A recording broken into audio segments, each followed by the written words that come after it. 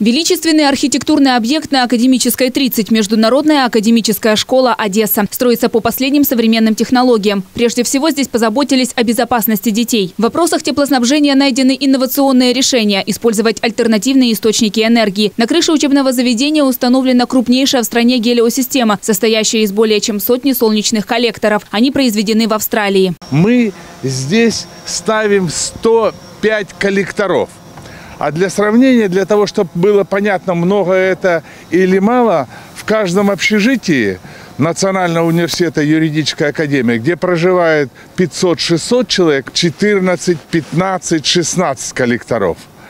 А здесь 105. Почему? Здесь бассейн, спортивный зал, здесь отопление, и здесь мы показываем нашему городу, всем жителям города при желании можно экономить электроэнергию. В самом густонаселенном Приморском районе Одессы регулярно вырастают очередные высотки и практически нет новых школ. Здесь их не строили уже почти 50 лет. Мы как раз находимся здесь на четвертом этаже нашего здания.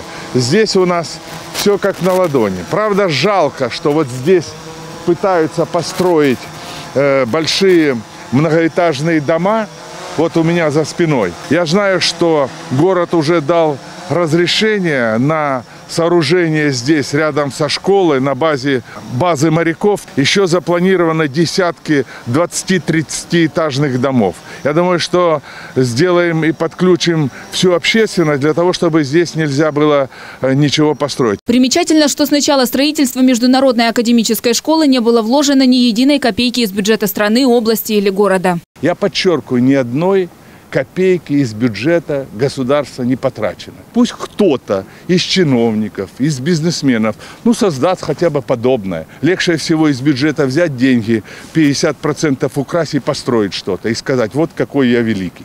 Постройте за свои деньги, если они у вас есть. Не открывайте счета за границей и вкладывайте деньги здесь. А эта школа, городской совет, я думаю, что он примет решение, чтобы обеспечивать и оплачивать за коммунальные услуги, и дети будут учиться бесплатно.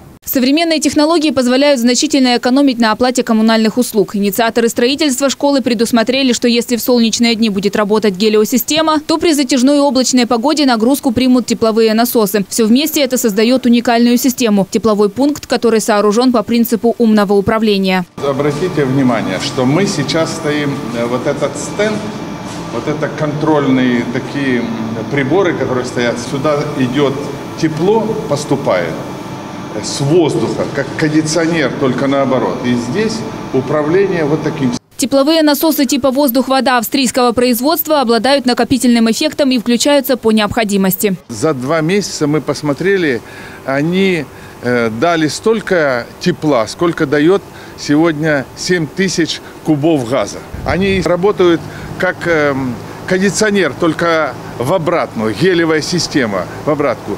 Мы практически сохраняем, если бы платили за тепло, за свет, почти 25%. То, что касается крыши, там солнечные коллектора, здесь тепловые насосы. Мы практически можем обходиться сегодня без э, газа.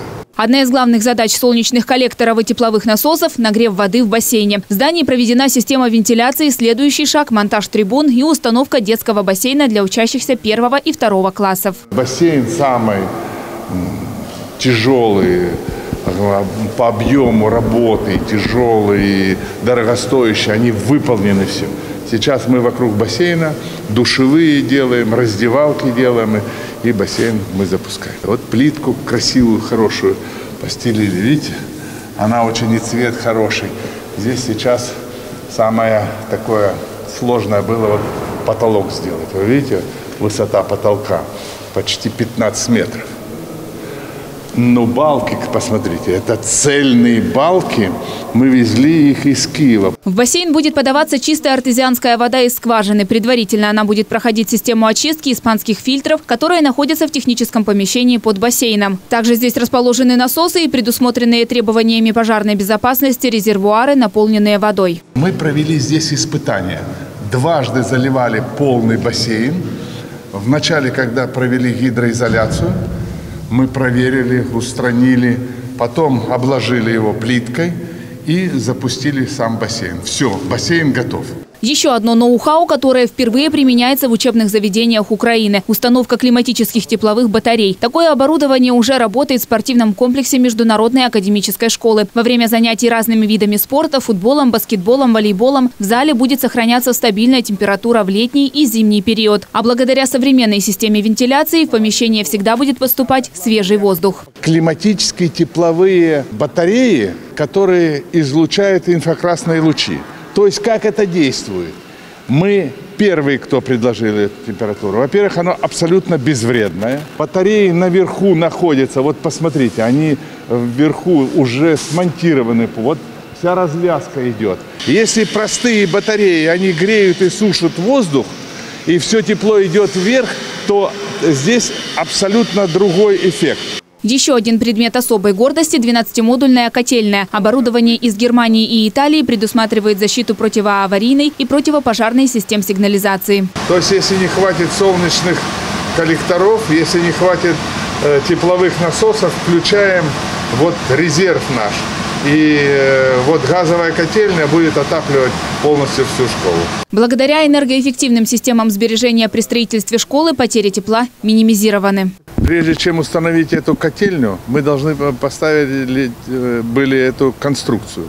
Архитектура, все сделали для того, чтобы 15-метровая труба те пары, которые уходят от этой котельни, никому не мешали. Ни школе, ни соседям. У нас же здесь рядом соседи, для того, чтобы было всем комфортно. На улице уже заложили фундамент под строительство еще одного спортивного комплекса. Почти сотня самосвалов завезли глину и щебень для того, чтобы выровнять поверхность. А перед самой школой уже скоро вырастет парковая зона. Первый этап завершен. Готова бетонная подушка, проведены все необходимые коммуникации для освещения территории и полива клумб, где вскоре появятся деревья и кустарники. Вход здесь будет для всех желающих. Высадим здесь 300-400 деревьев уже этой весной, в марте месяце приступим к высадке здесь деревьев.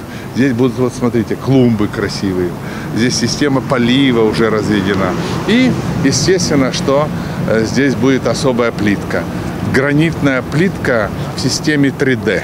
Фасад облицован белым итальянским мрамором. Его также украшают мозаичные иконы ручной работы. И еще несколько деталей выгодно дополнили внешний вид школы. Обратили внимание, что у нас вот у меня за спиной как раз мы уже установили и часы чтобы школьники не опаздывали, и учителя приходили вовремя на работу.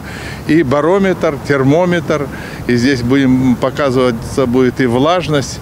Ну и это украшает само здание, вот такая задумка была. И самое важное, что часы будут подключены к колокольне. Рядом со школой раскинулась территория, которая станет парком. Несмотря на все попытки построить здесь высотки, почетный гражданин города Одессы и Одесской области Сергей Кивалов уверяет, что ни одной многоэтажки здесь не появится, а все вековые деревья будут сохранены. Уже, я смотрю, хотят здесь построить крупные многоэтажные дома. Здесь хотят построить 20-30 этажные дома. Мы просто не позволим. Я думаю, что Украинская морская партия внесет на рассмотрение сессии городского совета, чтобы сессия горсовета приняла решение запретить любое строительство на территории межрейсовой базы моряков. Я подчеркиваю, любое строительство. Есть здание одноэтажное, хотите, надо его отреставрировать, сделать. Никаких жилых домов здесь не должно быть, потому что начинает спекулировать.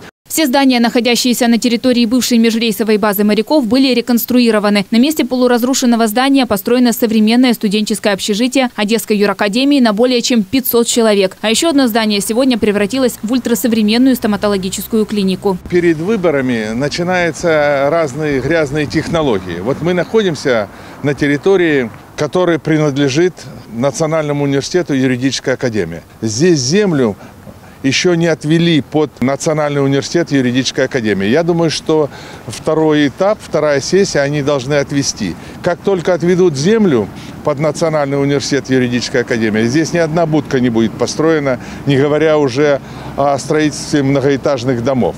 Здесь парковая зона должна быть. Мы должны сохранить все эти здания и сооружения, которые есть, отреставрировать их. И эти деревья. Этим деревьям, некоторым деревьям по 100-150 лет. Вот плитку, которую мы сделали, здесь уже 20 лет нога человека не ступала. Мы зашли сюда, вы обратите внимание, сделали плитку, навели какой-то элементарный порядок. восстановили общежитие пятиэтажное. Оно у нас действительно было заброшено, мы вложили туда денежные средства. А эта территория, то, что касается юридической академии, я вам хочу сказать, что мы не позволим, чтобы здесь кто-то что-то построил. Таким образом, некогда запущенная территория межрейсовой базы моряков превратилась в современный образовательный центр. Благоустройство продолжается. В планах предотвратить застройку прилегающей территории, создав здесь парк, который будет открыт для всех одесситов и гостей города.